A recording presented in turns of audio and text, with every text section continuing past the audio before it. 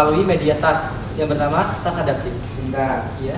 Kalau orang presentasi itu mengenalkan nama dulu. Dan untuk Mana mana mana pers apa coba ya keuangannya ya. Coba lihat. Kalau 250 berapa dok baru jual berapa deh? Eh,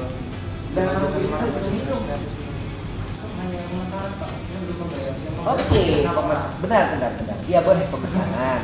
Saya nanya, nanya itu gampang. Kamu belajar berhitung. Desa Kerek Ngawi dengan pemanfaatan potensi lokal ekstrak daun bambu. Untuk itu, kami membuat strategi dengan membuat kemasan yang ziplock. Kalau dari saya kayaknya kamu perhitungan biayanya mesti belajar lagi. kami tunggu sebentar lalu kami kami masukkan minyak hingga meresap kalau orang-orang desain grafis itu ya jangan terlalu banyak menghias. Nah itu problem. Yang harus kamu ekspos ya ilustrasinya gede gitu ya